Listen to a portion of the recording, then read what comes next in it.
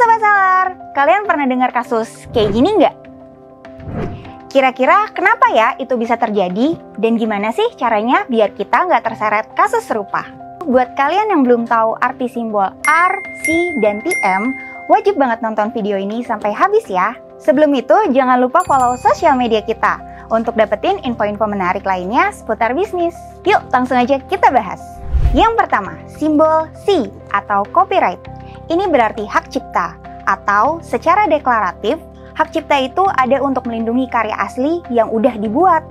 Jenis karya yang bisa dapat hak cipta ini berupa sesuatu yang punya bentuk nyata, seperti karya sastra, drama, musik, dan seni. Contohnya seperti buku, film, software, elemen desain, dan sejenisnya. Ini tertera loh dalam Undang-Undang RI nomor 28 tahun 2014 pasal 40. Cipta ini bisa kalian dapetin secara otomatis setelah karya tersebut dibuat tanpa harus mendaftarkannya. Jadi, sebagai pencipta, kalian punya hak untuk menampilkan, mendistribusikan, membuat salinan, atau mengadaptasi karya kreatif asli kalian.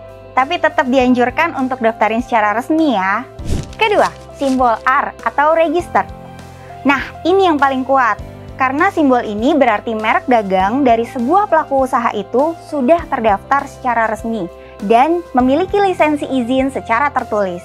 Di Indonesia sendiri, lembaga yang mengurus hal ini adalah HKI. Cakupan merek dagang ini bisa nama perusahaan, slogan, warna, hingga logo yang digunakan oleh pelaku usaha tersebut.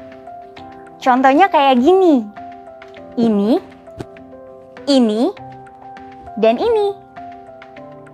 So, jangan coba-coba tiru, apalagi duplikat brand yang jelas-jelas pasang simbol ini ya.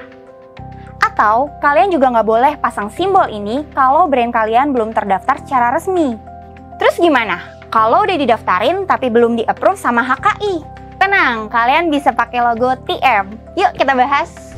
TM artinya trademark, di mana simbol atau lambang brand itu sudah secara sah dimiliki oleh suatu badan, organisasi, lembaga, atau perusahaan.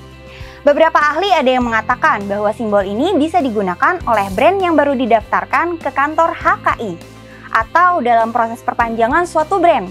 Nah, itu dia arti perbedaan simbol R, C, dan TM di sebuah brand atau produk. Tapi kira-kira apa ya keuntungan simbol hak paten ini bagi bisnis? Jawabannya langsung ada di part 2.